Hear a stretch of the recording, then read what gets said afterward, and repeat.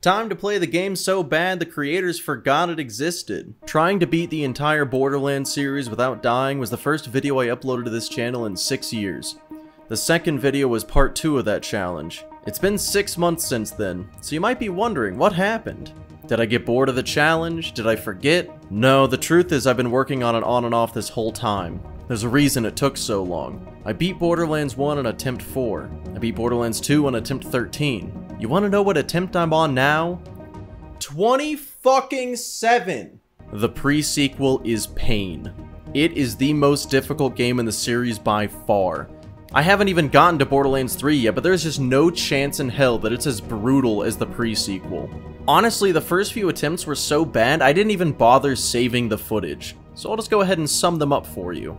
I died as Athena, died as the Baroness, died as Jack, died as Jack, died as Athena, died as Jack, died as Jack, died as the Baroness, and then probably died a few more times after that. Who's to say? You might be thinking, hey, why didn't you just cheat? You always cheat.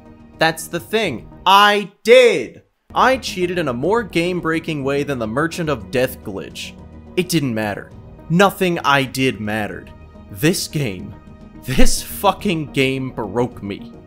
Eh, fucking, you'll see. I started my adventure by... No. I picked Timothy, aka Doppelganger Jack. He's the one that awakened the warrior and almost took over the world, so obviously he's the strongest of the six. After saving the real Jack from a bunch of I don't care who these people are. Jack loaded me into a giant bullet and shot me at the moon. The moon doesn't have oxygen, so I immediately started dying to death. Luckily, I was saved by the one person at all who would have saved me who just happened to be like a hundred feet away. Good aim, Jack. She gave me an oxygen kit, had me kill a guy, and I made it to Concordia. Oh, also there's this Zarpedon lady who might be important. Forgot to mention her. Jack says the Pringles mascot will help us, but he doesn't. Jack's a fucking liar. Go ahead and add that to his list of crimes. Moxxi helps instead and she finds the location of the jamming signal. Oh yeah, there's a jamming signal that's... Uh, who the fuck cares? The jamming signal is coming from these guys, I guess. Who the hell were those weirdos? Oh, whatever. I'm freaking over it. Just turn off the signal. Even Jack doesn't give a shit. Turns out Mr. Peanut was behind the jamming signal. Jack decides it's a good idea to have a civil discussion with him about the ethicality of his...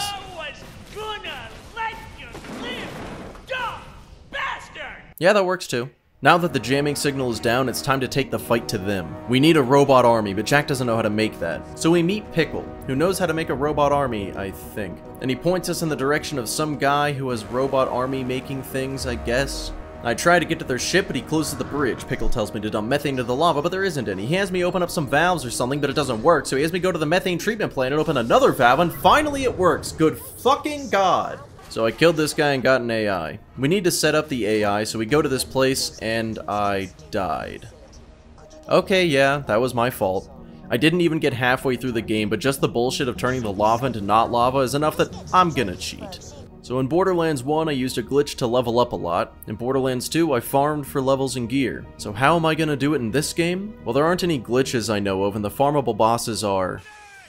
lacking, to say the least. There's one thing I could do. One factor that I can change that'll make this game easier than your sister at the family reunion. I'll just turn on badass rank. How did I get my badass rank so high? Don't worry about it. I started my adventure by picking the Baroness because she's rich, and money solves all problems.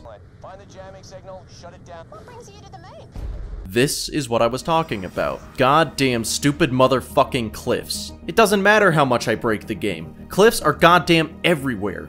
There are so many places where I have to jump over a cliff with a car, and if I hit the boost one second too late, or if the car decides to fucking spin out just before the jump, I'm dead. The pre-sequel is the hardest game in the series for this challenge, not because the enemies are stronger, not because the boss fights are tough, but because the game takes every opportunity to fuck with you. Also, the enemies are stronger and the boss fights are tough, but that's besides the point. Whatever. I started a new game and picked Jack again. I actually made that goddamn jump, and with my badass rank boosting all of my stats by 50%, I easily cleaved through the game up to the factory again. I met some guy who can put the AI we found into the first constructor. Oh yeah, the AI's name is Felicity.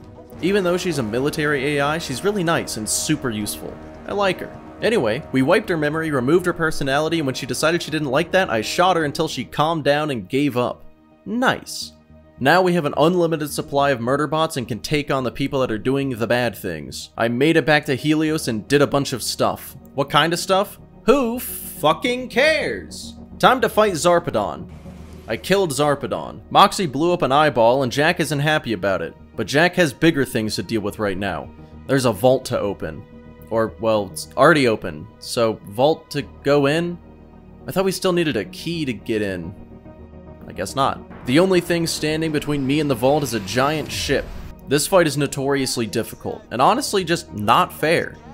The ship stays really far away so you can't hit it, and it just starts dropping goddamn nukes on you. Also, I'm 6 levels underleveled, but against all odds, I beat it. Just kidding, it landed on me and one-shot me with no enemies nearby and I died. this game is fun. When I die, it feels deserved and not at all like I got robbed. Well, I guess I'll pick the Baroness this time.